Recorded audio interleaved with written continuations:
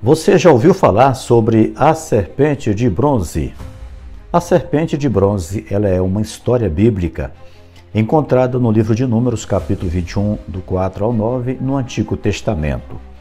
O relato descreve um momento em que o povo de Israel, durante a jornada no deserto, após a saída do Egito, começou a reclamar contra Deus e contra Moisés devido às dificuldades que enfrentavam. E como punição por sua murmuração, Deus enviou serpentes venenosas que começaram a picar e matar muitos israelitas. Arrependidos, o povo pediu a Moisés que intercedesse a Deus para que ele removesse as serpentes. E Deus então instruiu Moisés a fazer uma serpente de bronze e colocá-la em uma arte. Todos os que eram picados pelas serpentes e olhavam para a serpente de bronze eram curados e sobreviviam.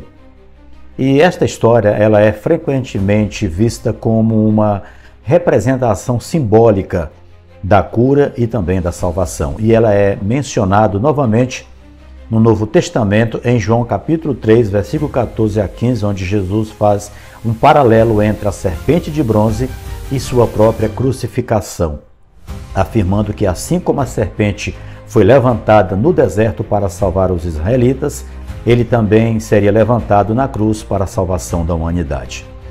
Interpretações teológicas veem a serpente de bronze como uma prefiguração de Cristo, representando a redenção e a cura para aqueles que, através da fé, olham para Ele, para Jesus. Espiritualmente, essas serpentes é, representam o diabo. O veneno fatal inoculado no ser humano representa ou simboliza o pecado que causa morte. E uma vez picado, somente a intervenção divina poderia reverter o quadro da peçonha. E da mesma forma, contra o pecado só há um remédio: o arrependimento por meio do sangue de Jesus. E se você gostou, me siga para mais conteúdo. Que Deus o abençoe. Amém.